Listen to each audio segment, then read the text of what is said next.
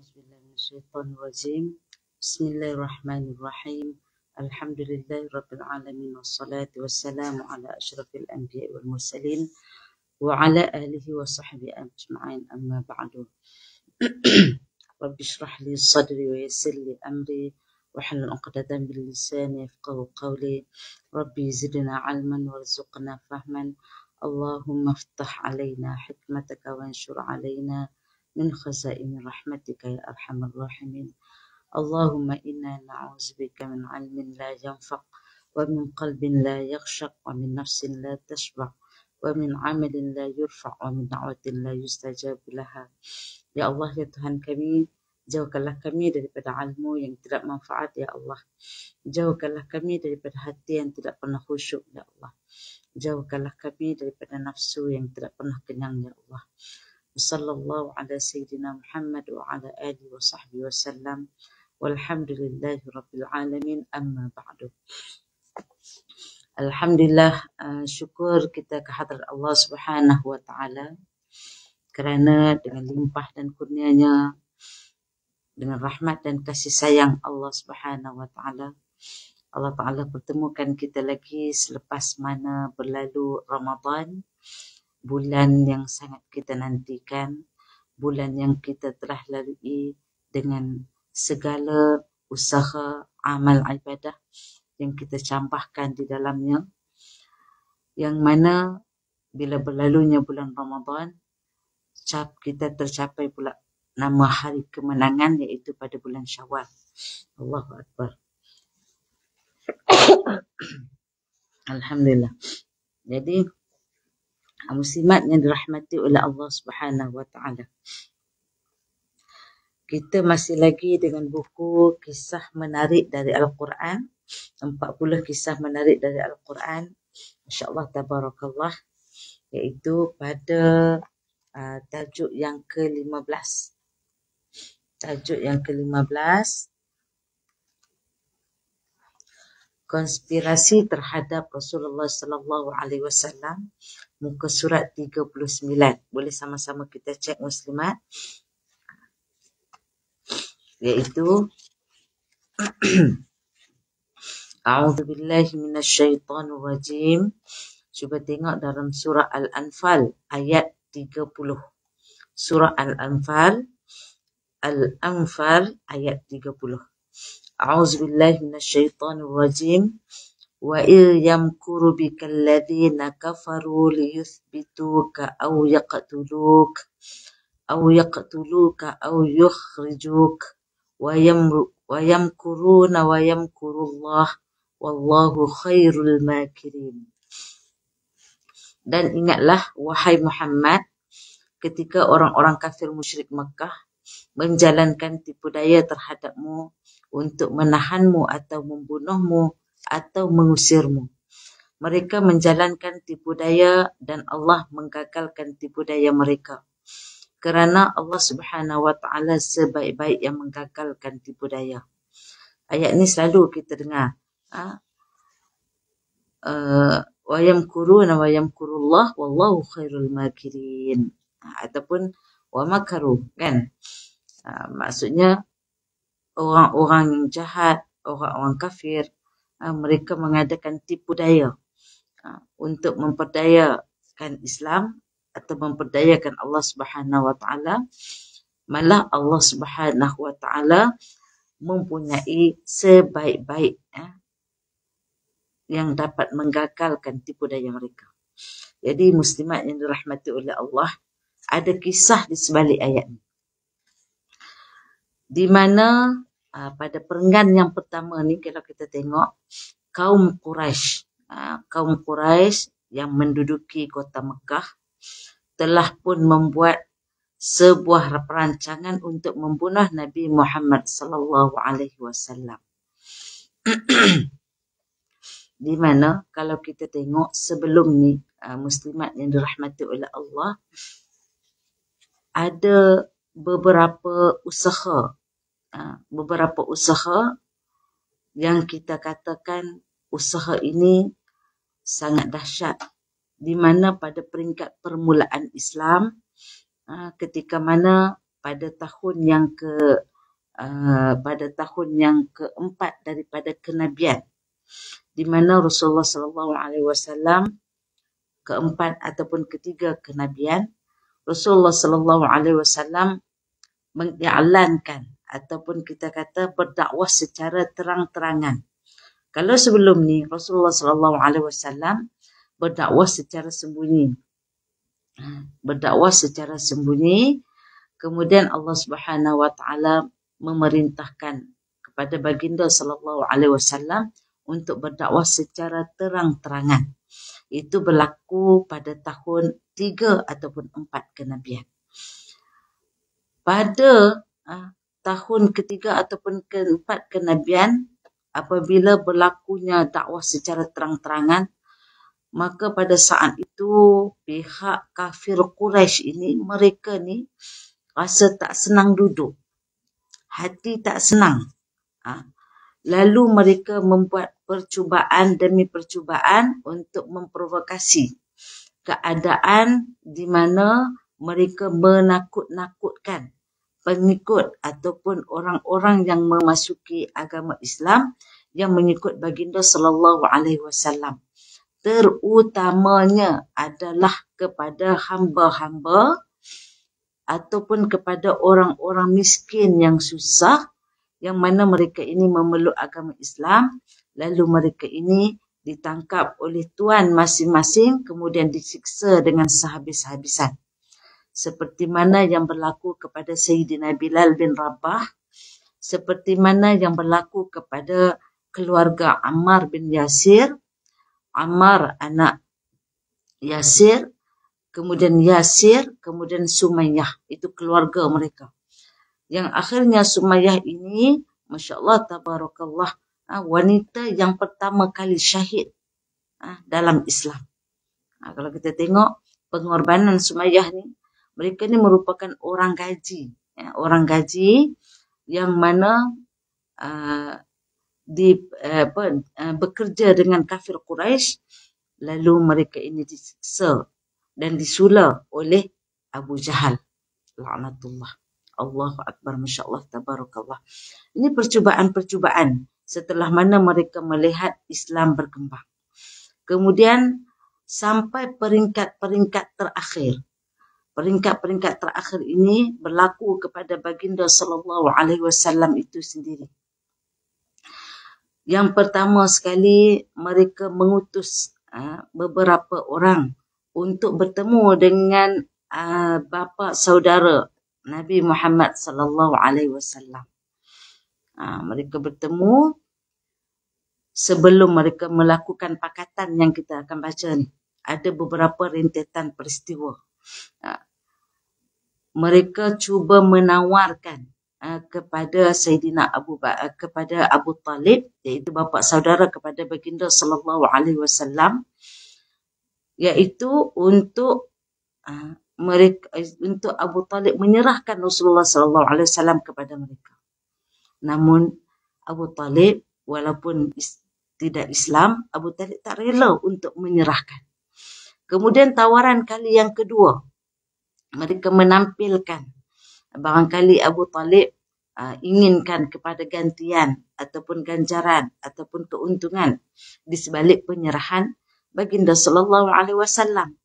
Lalu mereka membuat satu uh, rundingan yang sangat tak logik. Kalau kita tengok sangat tidak logik sangat tidak adil. Uh, kalau kita tengok secara uh, melihat secara biasa pun perkara ni sangat tidak adil dan tidak kena, tidak relevan pada tempatnya. Di mana mereka menampilkan seorang pemuda yang kacak, yang berwibawa, yang mulia di kalangan mereka, yang mempunyai tubuh badan yang sihat dan kuat, yang bernama Ammarah bin Al-Walid. Lalu mereka datang kepada Abu Talib, mereka mula menawarkan. Wahai Abu Talib, kata mereka. Maukah ah, kita buat satu penawaran?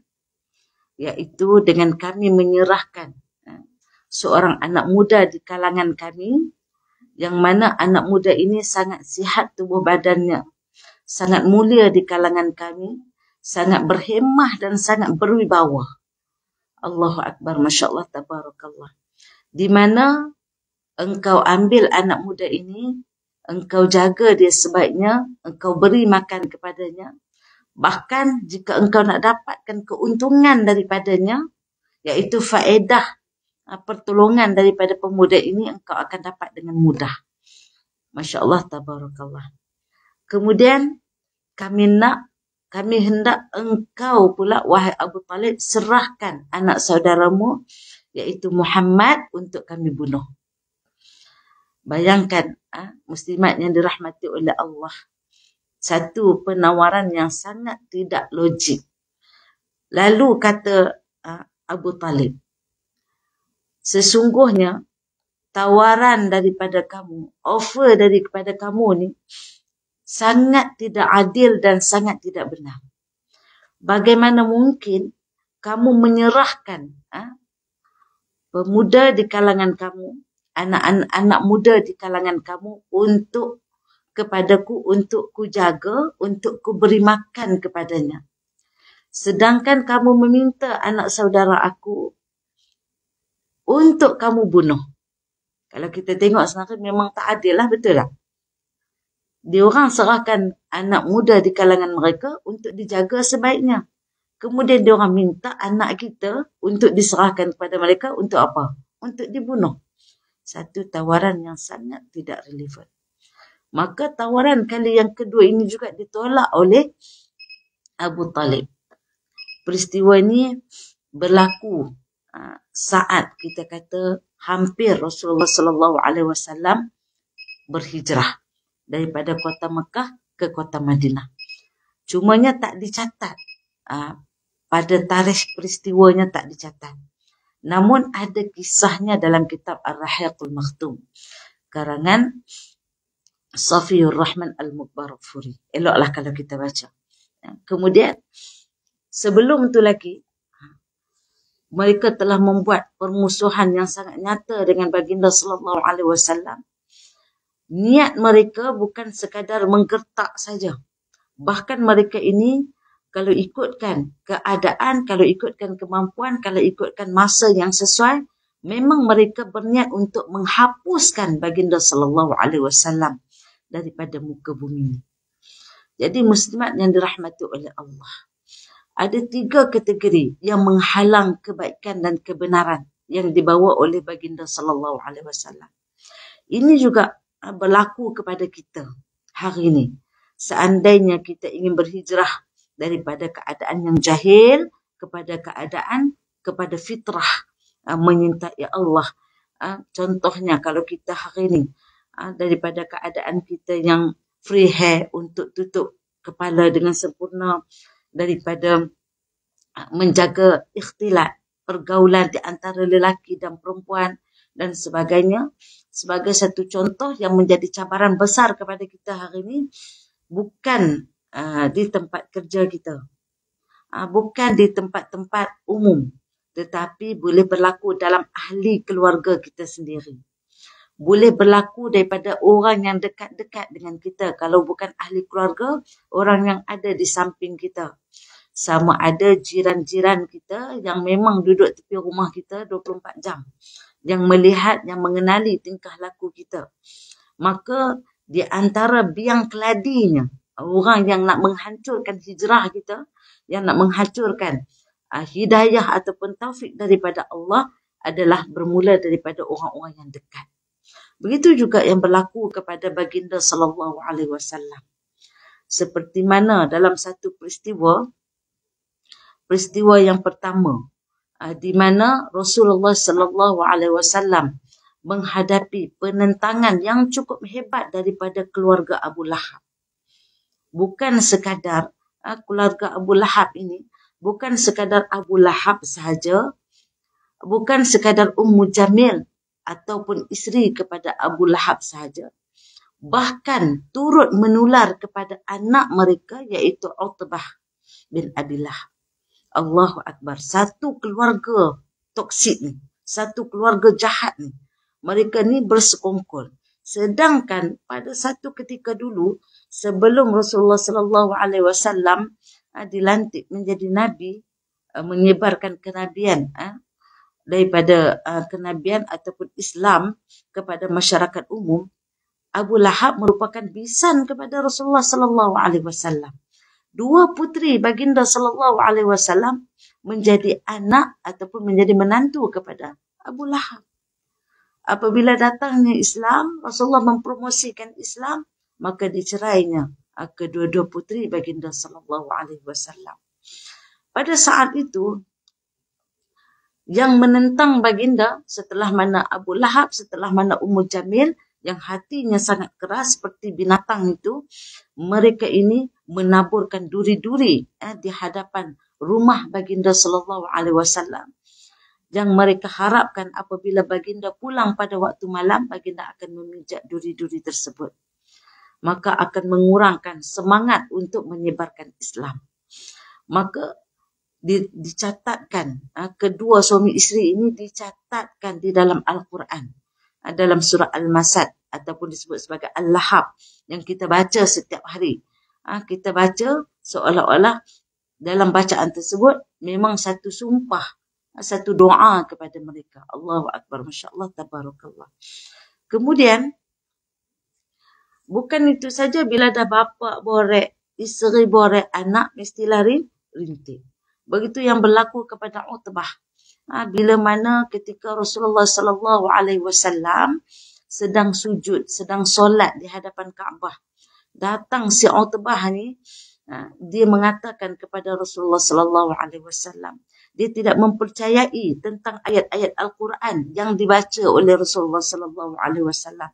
Bahkan Utbah ini mempersendakan bacaan Nabi. Kemudian dengan sengaja dia mengutuk Nabi dengan mengatakan aku benci, aku mencela, aku aku rasa jelek dengan apa yang telah disampaikan oleh kamu.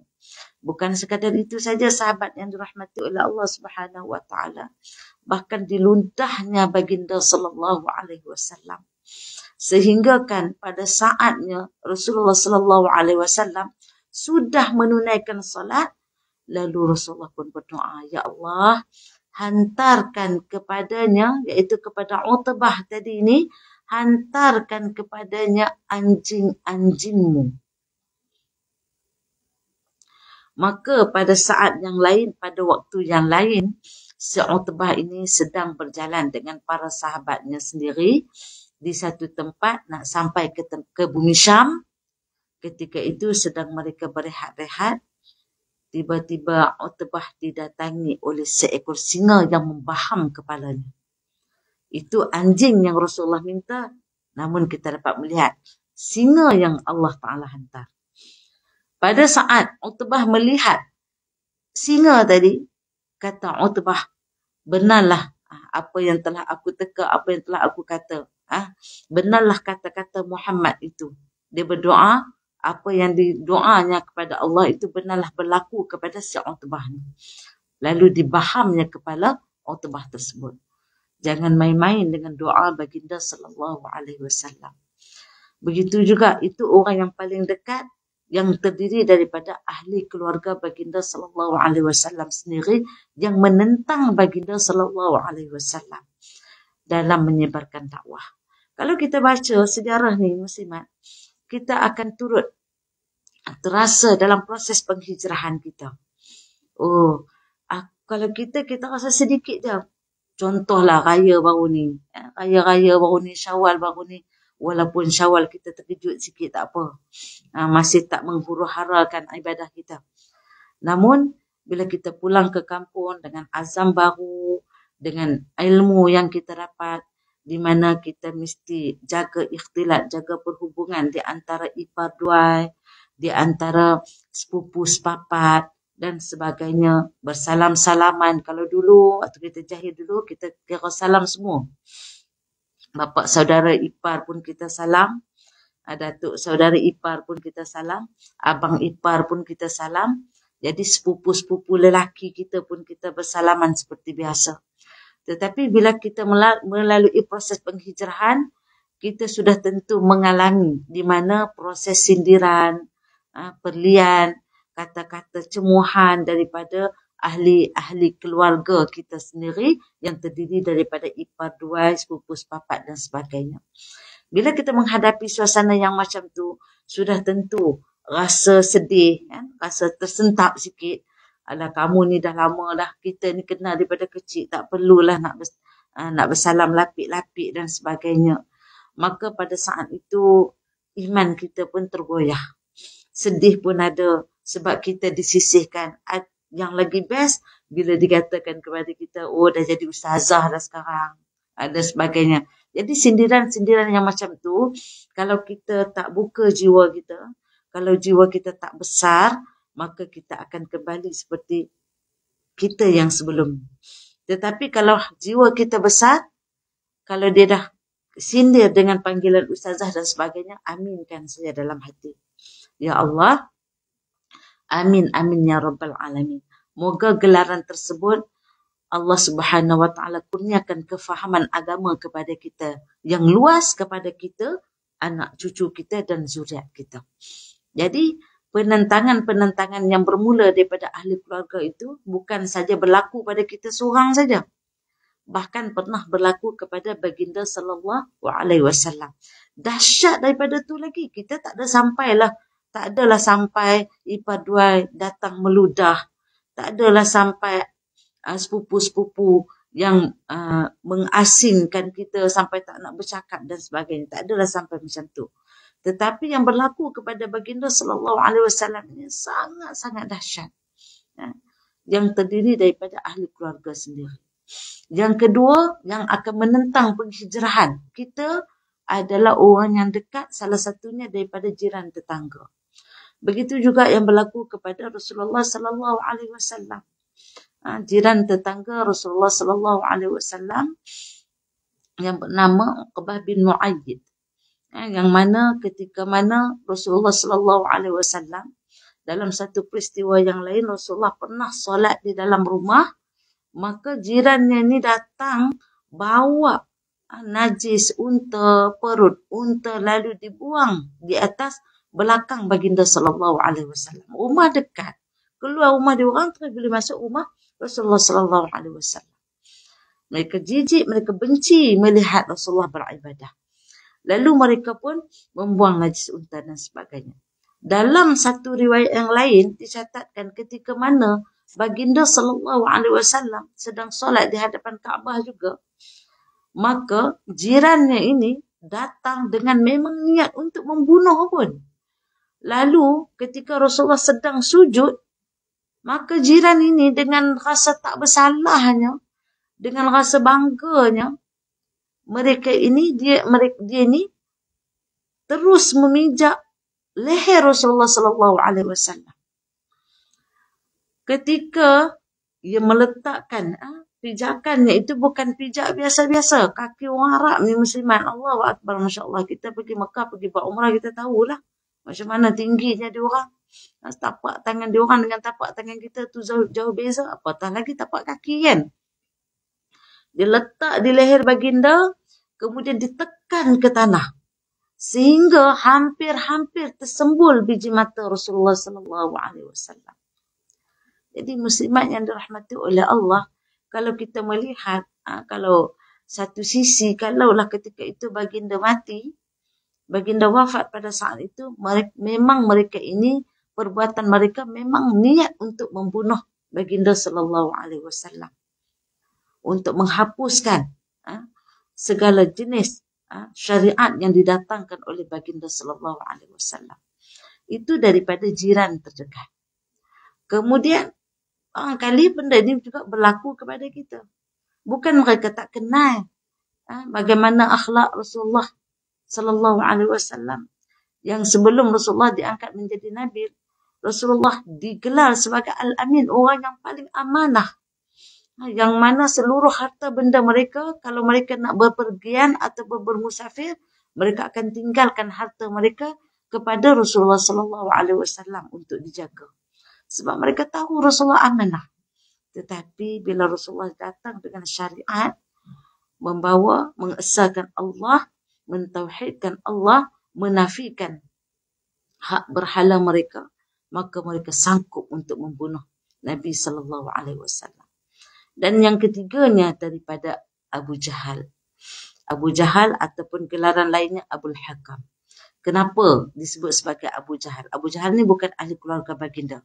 Dia salah seorang daripada orang Quraisy daripada Bani Makhzum. Ya. Namun dia adalah juga salah satu daripada pembesar-pembesar Quraisy. Abu Jahal ini digelar sebagai Abu Jahal ada dua peristiwa yang berlaku kepadanya.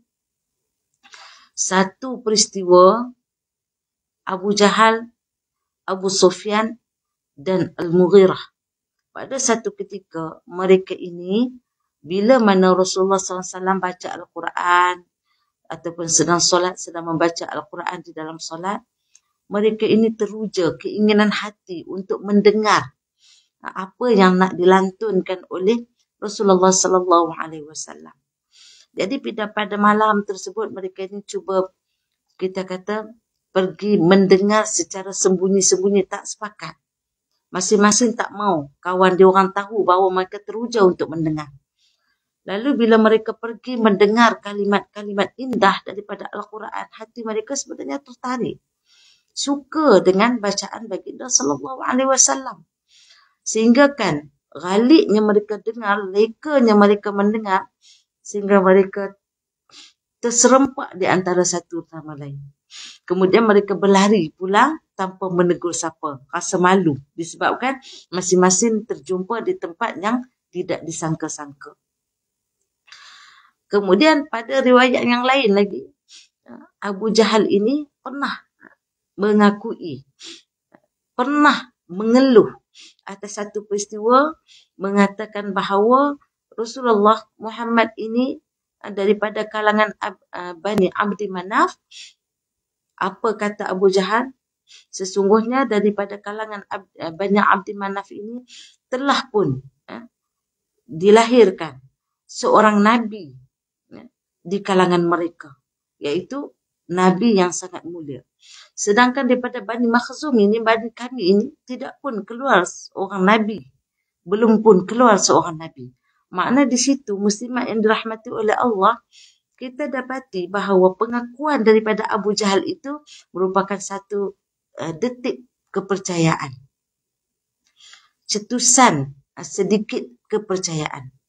Namun oleh kerana dibutakan dengan pangkat, dibutakan dengan harta benda, dibutakan dengan kemuliaan dunia, dibutakan oleh berhala-berhala kesayangan mereka, maka Allahu Akbar, Masya Allah, Tabarakallah, Abu Jahal ini dia mengerti tetapi dia tidak mengakuinya maka digelar sebagai Abu Jahal.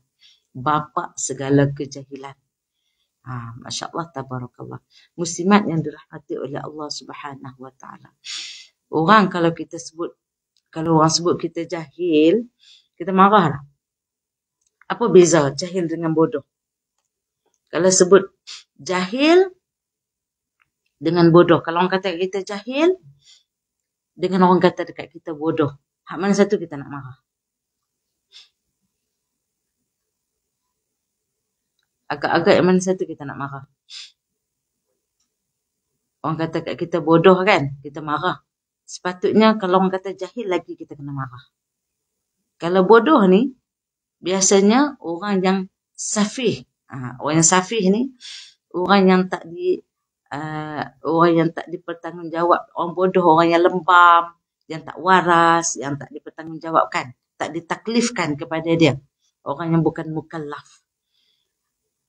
Tapi orang yang jahil ini, orang yang ada akal, boleh berfikiran waras tetapi tak nak ikut syariat. Tak nak ikut apa yang didatangkan oleh Al-Quran, tak nak ikut apa yang ditunjuk oleh hadis kepada kita. Patutnya kita kena menyesali bila disebut sebagai orang yang jah, orang yang jahil. Allahu Akbar, Masya Allah, Tabarakallah. Okey, jadi kisah Abu Jahal ni lagi dahsyat. Ha? Iaitu Abu Jahal memang niat untuk membunuh sehingga dia memberi penawaran kepada kaumnya. Dia kata, satu hari aku akan bawa satu batu besar. Aku akan tunggu Muhammad di sana. Bila aku melihat dia sedang beribadah, di sujud, aku akan bawa batu besar ni lalu aku akan letak atas kepala dia. Hempuk atas kepala dia. Lalu akan berkecailah kepala pada saat itu aku serahkan diri aku kepada uh, kepada kamu semua. Maksud kata kepada uh, apa bani-bani uh, kita ataupun kita sebut sebagai kabilah-kabilah untuk buat keputusan. Sama ada nak bunuh Abu Jahal ataupun sebalik ataupun nak hukum dan sebagainya. Maka diberi penawaran oleh kabilah masing-masing bahawa mereka akan membela Abu Jahal namun pada saat yang ditunggu-tunggu ketika mana Abu Jahal cuba mengangkat batu yang besar tadi cuba diletakkan di atas kepala baginda sallallahu alaihi wasallam. Namun apabila cuba didekati baginda tiba-tiba Abu Jahal kembali ke belakang. Kalau kita kata berundur dengan perasaan yang sangat takut dan matanya yang sangat terbelalak bila ditanya kepada Abu Jahal, kenapa sampai macam tu sekali? Kamu tengok Muhammad. Kenapa sampai takut macam tu sekali? Kata Abu Jahal, saat aku cuba mendekati Muhammad, saat aku cuba mengangkat batu untuk menghempuk ke atas kepala Muhammad, aku dapati ada seekor unta jantan yang sangat besar yang aku tak pernah tengok sebelum ini. Dengan kepalanya yang aku belum tengok belum pernah tengok kepada unta-unta jantan yang lain. Allahu Akbar. Rupa-rupanya unta jantan itu adalah Sayyidina Jibril yang datang melindungi baginda sallallahu alaihi wasallam.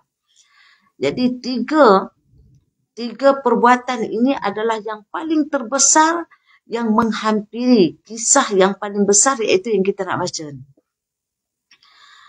Lalu pada saatnya Rasulullah sallallahu alaihi wasallam hampir untuk berhijrah daripada kota Mekah ke kota Madinah. Jadi daripada kafir Quraisy ini mereka mengadakan satu rapat yang besar ha, yang sangat penting ataupun mesyuarat meeting yang sangat penting dikumpulkan pembesar-pembesar ha, kota Mekah yang terdiri daripada kafir Quraisy yang kalau kita tengok pada perenggan ini nama tempat mesyuarat mereka dinamakan sebagai Darun Nadwah iaitu so, uh, rumah Qusay bin Kilab yang menjadi tempat orang-orang Quraisy memutuskan sesuatu keputusan yang penting. Dalam mesyuarat tu ada seekor, ha, senang je kita sebut, seekor iblis hadir dalam rupa bentuk manusia. Menyerupai manusia. Jadi iblis ni datang, dia pun sibuk-sibuk dengan nak mesyuarat juga. Supaya apa? Segala idea-idea yang didatangkan oleh mereka, kalau berfaedah baginya, dia akan menambah, menokok tambah. Kalau tak dapat tak dapat idea yang bernas, dia akan cuba suruh suruh tukarkan. Walaupun dia bukan daripada pembesar-pembesar, nanti kita tengok pada perenggan yang seterusnya. Masya Allah, tabarakallah seolah-olah percakapannya sangat penting dan didengar walaupun dia bukan daripada pembesar. Itu ketokohan yang ada kepada iblis yang tak dapat dinafikan. Ha, kerana apa? Iblis ni hidup daripada zaman Nabi Adam AS lagi. Ditangguh ajal sampai ke hari kiamat. Jadi segala bentuk jenis kita kata uh, kejahatan, kemaksiatan, kemungkaran semuanya ada dalam genggaman dia. Dia tahu dah daripada zaman Nabi Adam lagi yang telah ditipu daya oleh iblis sampailah sekarang. Allahu Akbar. Jadi mereka ni duk sibuk membentangkan idea-idea masing-masing pakai cerita. Ha? Pakai cerita macam mana idea seorang ni nak bunuh Rasulullah sallallahu alaihi wasallam. Jadi salah seorang daripada mereka memberi satu cadangan. Antara cadangannya adalah dia mengatakan saya cadangkan supaya dia iaitu Muhammad iaitu baginda sallallahu alaihi wasallam dipenjarakan. Dengan itu tidak dapat lagi dia membuat perkara yang menyusahkan. Namun apa kata syaitan? Sebab syaitan ni lebih berilmu daripada manusia. Syaitan kata apa? Ini bukanlah satu cadangan yang baik. Dia kata tak baik cadangan tu. Sebab apa? Dia kata, kalaulah kita memenjarakan Muhammad, nanti pengikut-pengikutnya akan buat rusuhan. Bila pengikut-pengikutnya akan buat rusuhan, akhirnya mereka ni memberontak akan lebih ramai orang akan simpati dengan mereka. Maka kita akan kalah. So sekarang bagi lagi satu pandangan yang lain. Maka pandangan yang lain pun pun mengatakan macam ni. saya berpandangan bahawa kita menghalaunya keluar daripada bumi Makkah. Halau keluar daripada sini, maka sudah tentu kita akan bebas daripadanya. Ah, yang ni kali yang kedua turut dibantah oleh Iblis. Iblis kata apa? Jika kita lakukan demikian, maka ia akan mendatangkan bahaya kepada kita semula. Maka tidaklah kamu lihat betapa manisnya percakapan Muhammad. Betapa indahnya percakapan Muhammad yang dapat meresap ke dalam lubuk hati masing-masing. Maksud kata, kalam Rasulullah sallallahu alaihi wasallam ini diperakui oleh iblis. Sebab itu, apa yang dilontarkan oleh Rasulullah sallallahu alaihi wasallam disebut sebagai jawami'ul kalim. Maksud kata sebut sedikit pun cakap sedikit maksud tu sampai kepada kita. Mudah untuk kita faham. Bahkan dihiasi dengan kalimah-kalimah yang indah daripada kalam Allah yakni Al-Quran. Jadi himpunan kata-kata baginda sallallahu alaihi wasallam ini sangat dibimbangi oleh orang Quraisy. Bukan orang Quraisy kafir Quraisy saja yang bimbang, bahkan syaitan dan iblis pun bimbang. Ketika mana mereka mencadang untuk melepaskan baginda sallallahu alaihi wasallam, pergilah ke mana yang baginda suka, maka dicantas, ah, dihalang oleh iblis. Bimbang iblis bila Rasulullah makin di luar sana, makin mendapat pengaruh daripada tindakan, kata-kata dan sebab itulah Islam yang tersebar ya, daripada bibir Rasulullah sallallahu alaihi wasallam mudah diterima oleh orang ramai. Allahu akbar masya-Allah tabarakallah. Kemudian kata iblis lagi, lalu nanti dia akan mengumpulkan pengikutnya dan akhirnya akan menyerang kita. Maka saya suka sekiranya terdapat lagi cadangan yang lain. Ha, bukan main iblis ni, tak pasal-pasal jadi pengurusi majlis. Tak pasal-pasal dia jadi pengurusi mesyuarat. Padahal dia hadir sebagai orang ramai juga. Tetapi tiba-tiba nampak ketokohannya di situ. Maka pada saat itu Abu Jahal pun berdiri. Ha, Abu Jahal ini yang saya cerita tadi iaitu Abu Hakam yang mana orang yang bertanggungjawab juga untuk membunuh baginda sallallahu alaihi wasallam. Iaitu dia punya tugas dia ketokohan dia sangat uh, berpengaruh di sana. Sebab dia adalah salah satu daripada tokoh-tokoh kafir Quraisy. Kata Abu Jahal, kita mengambil daripada setiap pemuda-pemuda daripada kabilah-kabilah. Maksud kata, setiap kabilah kita kutip pemuda-pemuda untuk mereka ini perang ataupun uh, mengepung baginda sallallahu alaihi wasallam lalu mereka akan membantai Rasulullah SAW. Jadi daripada situ apabila kematian Muhammad nanti tidak ada yang bakal dipertanggungjawabkan. Sebab apa? Sebab semua terlibat. Semua pemuda terli, terlibat daripada semua kabilah. Jadi kabilah masing-masing kalau dia nak menghukum kabilah yang lain, sebab kabilah dia juga terli, terlibat. Ha, lalu cadangan daripada Abu Jahal ini sangat diterima pakai oleh Iblis tadi. Allahu Akbar, Masya Allah. Kata Iblis tadi, ha, inilah, inilah pandangan yang paling terba terbaik. Lalu setiap tipu daya yang mereka lakukan Allah Subhanahu wa taala Maha mengetahui. Allah Allah Subhanahu wa taala Maha mengetahui. Allah mengetahui apa yang tersembunyi dan apa yang zahir.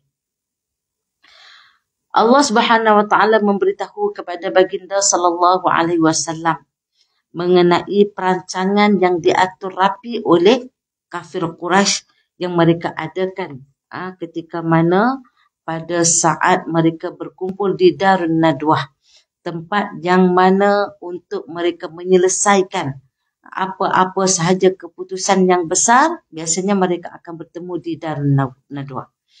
Pada saat itu ha, Allah Subhanahu wa taala menyampaikan rahsia kepada baginda sallallahu alaihi wasallam maka Allah taala perintahkan kepada baginda sallallahu alaihi wasallam untuk melakukan hijrah daripada kota Mekah ke kota Madinah Dan baginda juga mendapati Sayyidina Abu Bakar dan Rasulullah SAW menceritakan segala-galanya kepada Sayyidina Abu Bakar tentang perintah Allah Subhanahu Wa Taala. Pada saat ini kita melihat ada juga keluarga-keluarga sahabat-sahabat baginda Sallallahu Alaihi Wasallam yang sangat uh, memberi sokongan kepada baginda Sallallahu Alaihi Wasallam. Di mana uh, orang yang paling penting yang berada di sisi baginda sallallahu alaihi wasallam adalah Sayyidina Abu Bakar As-Siddiq orang yang paling rapat dengan baginda sallallahu alaihi wasallam bukan sekadar Sayyidina Abu Bakar saja yang rapat bahkan anak Sayyidina Abu Bakar iaitu Asma binti Abu Bakar bintu Abu Bakar Abdullah bin Abu Bakar turut beroperasi dalam proses melakukan hijrah bersama baginda sallallahu alaihi wasallam. Kalau tadi kita melihat keluarga Abu Lahab yang sama-sama uh, bersatu menentang baginda sallallahu alaihi wasallam. Sekarang kita akan jumpa, kita akan melihat satu keluarga ya, yang mana sama-sama menyokong, mendukung Rasulullah sallallahu alaihi wasallam. Mereka inilah orang yang mana uh, ketika mana orang menafikan kenyataan daripada baginda sallallahu alaihi wasallam namun dibenarkan oleh Sayyidina Abu Bakar walau apa cara sekalipun maka pada saat berlaku proses penghijrahan Sayyidatina Asma sahabat yang dirahmati oleh Allah Sayyidatina Asma ketika itu sedang hamil tua hamil tua tu macam mana hamil tua tu proses kita kata sedang menunggu ha, saat-saat untuk bersalin dalam tujuh, lapan, sembilan bulan macam tu. Ketika mana Rasulullah sallallahu alaihi wasallam bersama dengan Sayyidina Abu Bakar mereka bersembunyi di Gua Thur. Ha, di Gua Thur itu nak sampai ke Gua Thur itu bukan kecil, bukan tempat dia tempat yang mudah untuk didaki. Namun Sayyidatina Asma ini sampai ke sana dengan keadaan kandungan yang sarat, dibawa bekalan makanan. Kemudian sambil-sambil tu digembalakan kambing, uh, kambing digembalakan oleh uh, pembantu Sayyidina Abu Bakar. Kemudian kambing tadi ini menutup tapak kaki uh, Sayyidatina Asma. Allahu Akbar disampaikan bekalan makanan setiap hari bukan senang ha. sebelum Rasulullah sallallahu alaihi wasallam berangkat ha, ke kota Madinah bersama dengan Sayyidina Abu Bakar pada ketika itu Rasulullah sallallahu alaihi wasallam ha, meminta Sayyidina Ali untuk menggantikan menggantikan tempat tidur Rasulullah sallallahu alaihi wasallam Ha, pada ketika tu rumah kan rapat-rapat. Rasulullah kan dibenci oleh jiran-jiran yang ada di sekelilingnya. Mereka ini pemuda-pemuda yang diupah, yang di yang disuruh untuk memerhati, menjadi mata-mata gelap untuk melihat pergerakan baginda sallallahu alaihi wasallam. Mereka ini tidak tidur. Masing-masing berjaga, masing-masing mendengar takut-takut Rasulullah dah pun keluar daripada rumah. Pada saat itu, Ha, pada malam tersebut Rasulullah memerintahkan supaya Sayyidina Ali untuk tidur di atas tempat baginda sallallahu alaihi wasallam. Ketika mana Rasulullah melangkah keluar daripada rumah, maka Rasulullah sallallahu alaihi wasallam membaca satu ayat daripada surah Yasin. Kita boleh tengok di sini surah Yasin ayat yang ke-9. Apa maksudnya di sini? Auzubillahi minasyaitonirrajim. وجعلنا من بين أيديهم سدا ومن خلفهم سدا فأغشيناهم فهم لا يبصرون dan kami jadikan sekatan di hadapan mereka dan sekatan di belakang mereka lalu kami tutup pandangan mereka maka dengan itu mereka tidak dapat melihat jalan yang benar.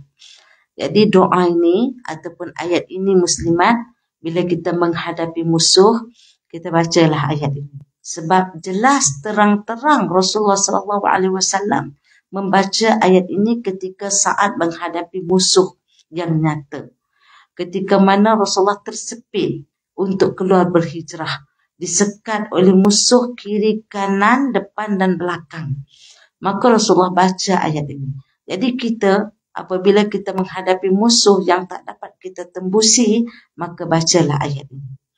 Ha, saat mana ha, kita menghadapi musuh sama ada musuh ini dapat dilihat ataupun tidak, minta dengan pertolongan Allah berkat dengan apa yang dibaca oleh baginda sallallahu alaihi wasallam maka kita juga turut membacanya insyaallah.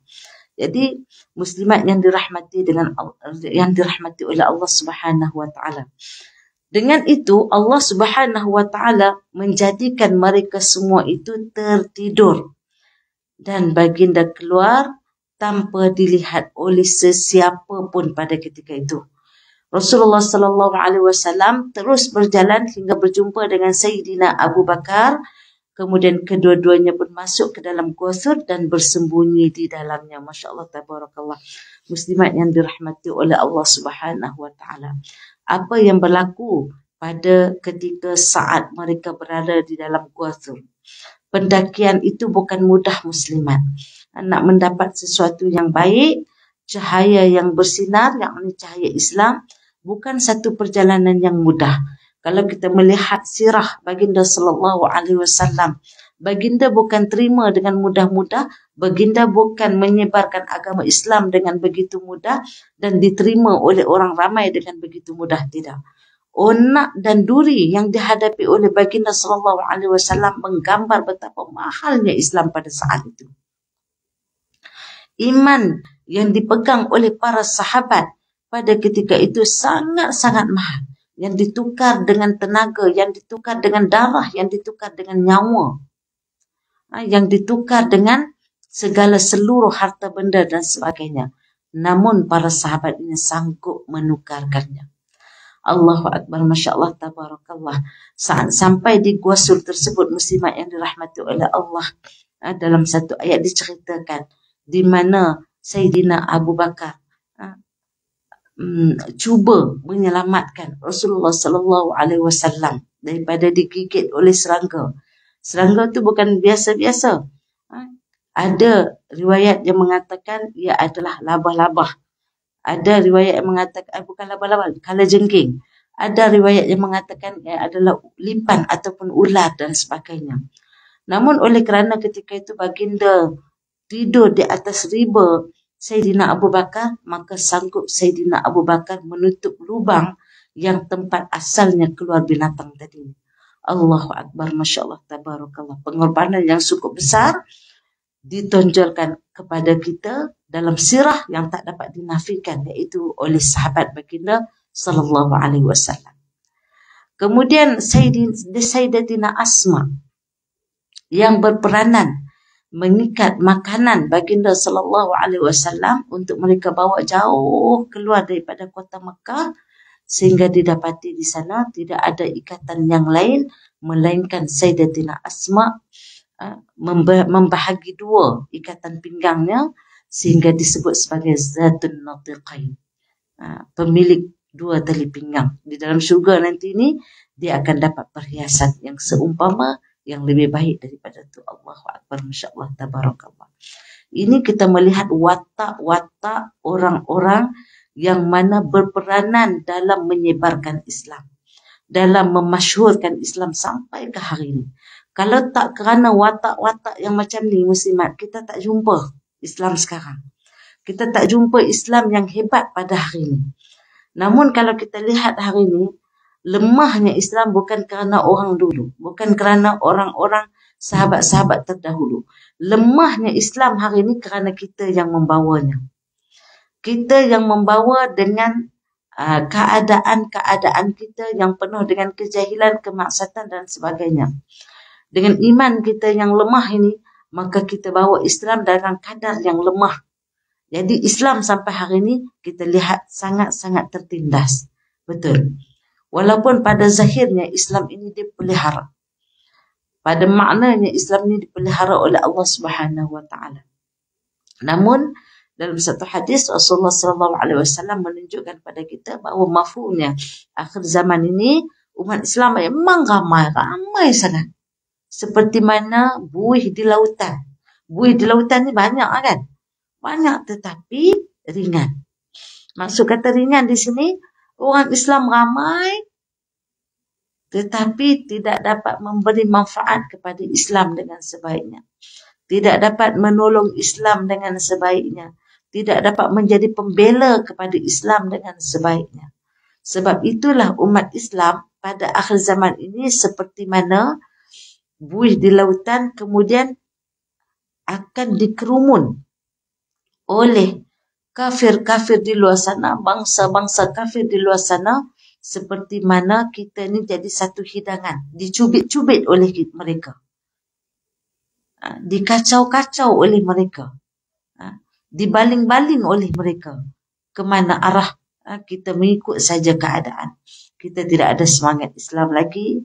Kita tidak ada semangat kita tidak ada keimanan yang kuat sebab iman ini yazid wa yanqus ada bertambah ada turun ada naiknya mengikut kadar ilmu dan apa yang kita uh, ma'rifatullah sejauh mana kita mengenal Allah Subhanahu wa taala. Jadi muslimat yang dirahmati oleh Allah. Kalau kita melihat pada sirah, kita akan rasa macam Allahu Akbar. Bila kita banyak baca sirah, kita akan kembali ke pangkal jalan. Kita akan mengingatkan betapa suatu ketika dulu Islam sangat membela umatnya. Kita melihat bagaimana orang-orang Islam pegang dengan Islam dengan sebaiknya kita melihat baginda sallallahu alaihi wasallam sendiri mengharungi berbagai bentuk rintangan dan percubaan membunuh baginda semata-mata untuk menyebarkan Islam. Sehinggalah bila mana baginda sallallahu alaihi wasallam sampai di pertengahan jalan bukan melalui jalan-jalan yang biasa tergempar kota Mekah bila mereka didapati pada keesokan harinya Rupanya Sayyidina Ali yang tidur di tempat baginda sallallahu alaihi wasallam. Sehingga kan Abu Jahal mendatangi Sayyidatina Asma. Lalu ditanya, di mana bapa kamu dan Muhammad? Maka dinafikan oleh Sayyidatina Asma. Kemudian Sayyidatina Asma mendapat tamparan yang sangat hebat daripada uh, Abu Jahal. Allahu Akbar, Masya Allah, Tabarakallah sampai sampai macam tu sekali mereka cuba lagi untuk mengejar baginda sallallahu alaihi wasallam. Dikirim pemuda-pemuda yang hebat diganjarkan dengan seratus ekor unta. Siapa yang dapat mengejar baginda sallallahu alaihi wasallam? Maka ada seorang lelaki yang bernama Abdullah bin Uraiqid kalau tak silap saya namanya Abdullah bin Uraiqid ataupun tak, uh, bukan Abdullah bin Uraiqid tapi Suraqah bin Naufal yang mana bila dia dengar tawaran itu dia pun mengundur perlahan-lahan. Lalu dia mengejar uh, baginda sallallahu alaihi wasallam dengan kudanya. Sebab dia ni di antara orang yang mahir uh, dalam selok belok padang pasir. Memang Suraqah bin Nawfal ini bertemu dengan baginda sallallahu alaihi wasallam. Ketika sampai hampir sampai kepada baginda sallallahu alaihi wasallam tiba-tiba kudanya meragam kaki kudanya termasuk ke dalam pasir lalu ditenggelam di dalam pasir tersebut. Kemudian dia cuba untuk membatalkan niatnya membatalkan niatnya untuk tidak mengajar baginda. Maka kaki tadi pun kaki kuda tadi dapat kembali balik. Tiba bila dia nak kejar sekali lagi kaki kuda tadi tenggelam. Sehingga kan itulah Rasulullah sallallahu alaihi wasallam memberi satu jaminan kepadanya. Allahu Akbar. Ha, jika kamu tidak pecahkan rahsia ini ya kamu tidak mengejar kami dan sebagainya kamu akan mendapat gelang daripada Kisra nanti. Maka apa yang dijanjikan oleh Rasulullah sallallahu alaihi wasallam memanglah bertepatan. Ha, sebab apa? Selepas itu pada zaman Sayyidina Umar berlaku peperangan dengan Kisra maka di sana uh, Suraqah bin Naufal dapat apa yang dijanjikan oleh Rasulullah sallallahu alaihi wasallam kepadanya. Allahu akbar masyaallah tabarakallah. Jadi kalau kita melihat di sini muslimat yang dirahmati oleh Allah, ayat tersebut menceritakan tentang kisah di mana mereka cuba melakukan penipuan untuk membunuh baginda sallallahu alaihi wasallam maka Allah Subhanahu wa taala sebaik-baik yang merancang dan sebaik-baik yang menggagalkan rancangan mereka. Jadi muslimat yang dirahmati oleh Allah Subhanahu wa taala. InsyaAllah uh, pada bulan yang seterusnya nanti kita akan uh, masuk pada tajuk yang ke-16 iaitu tentang jumlah ataupun uh, bilangan uh, bukan penentu kekuatan bagi sesuatu angkatan perang kalau kita merujuk kepada kisah peperangan Badar di mana peperangan Badar tak ramai kan? 313 orang saja menghadapi 10,000 tentera. Begitu juga dengan perang Khandaq. Banyak uh, tentera muslimin.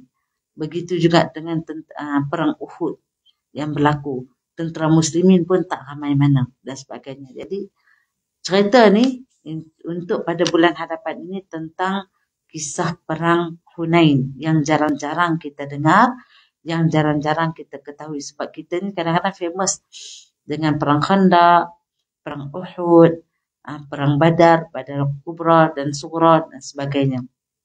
Perang Tabuk dan sebagainya. Jadi keadaan tersebut ah, kita ter, terlupa sekejap tentang peperangan Hunain yang berlaku kepada ah, pada 10 Syawal.